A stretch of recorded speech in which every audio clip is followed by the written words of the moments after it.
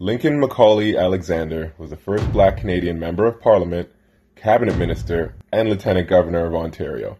In recognition of his many important accomplishments, January 21st has been recognized as Lincoln Alexander Day across Canada since 2015. Oh, you didn't know that? Well, it's time to educate.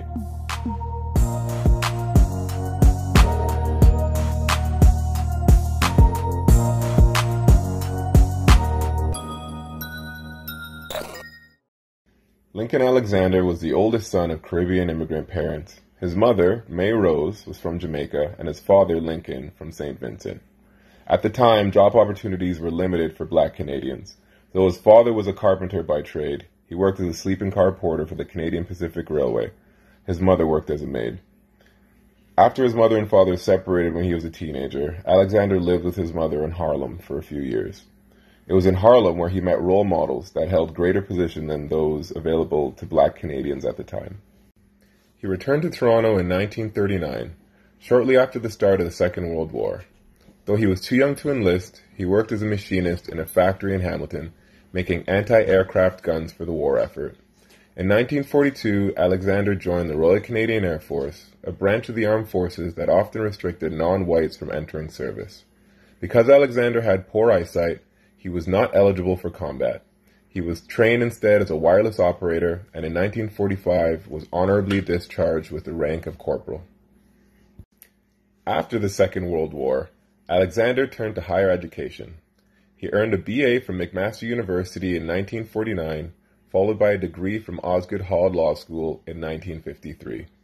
He first practiced law at a small firm in Hamilton before starting his own firm as a lawyer. In 1965, he was appointed the Queen's Counsel, an honorary title that recognizes a lawyer's contribution to the legal profession. Alexander entered politics in 1965, running as a Conservative Member of Parliament for Hamilton West, but was defeated by less than 2,500 votes. Three years later, on June 25, 1968, he won the seat, making him the first black Canadian to sit in the House of Commons. He was reelected four times, serving a total of 12 years. In 1978, Alexander was appointed Minister of Labor in the Joe Clark government, becoming the first black Canadian to serve in cabinet. In 1980, he resigned his seat when Ontario Premier Bill Davis appointed him chair of the Ontario Workers' Compensation Board. In 1985, Alexander was sworn in as Ontario's 24th Lieutenant Governor the first black Canadian to be appointed a vice-regal position in Canada. In this position, he was able to take an active role in the multicultural affairs of Ontario. His mandate was to fight racism, advance the causes of youth, and advocate for seniors. In 1991, when his term in office was up, Alexander accepted the post as Chancellor of the University of Guelph, where he served an unprecedented five terms. In the year 2000, Alexander was appointed chair of the Canadian Race Relations Foundation, an organization dedicated to ending racism and racial discrimination in Canada. Alexander died in his sleep on October 19, 2012, at the age of 90. He was known for his sound judgment and his compassion.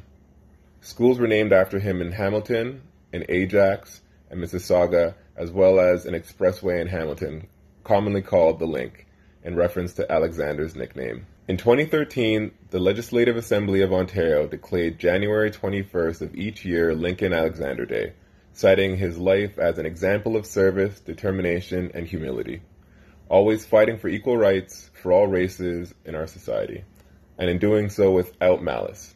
He changed attitudes and contributed greatly to the inclusivity and tolerance of Canada today. On January 21st, 2015, Lincoln Alexander Day was observed across Canada for the first time. And now you know just how influential Lincoln MacCauley Alexander was.